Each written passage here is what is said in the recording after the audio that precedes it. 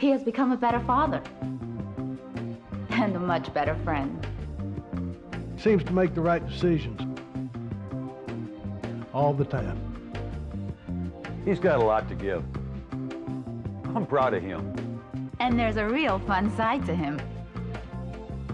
ITT Technical Institute, education for the future. To find out more, call 1 800 ITT Tech or visit us on the web.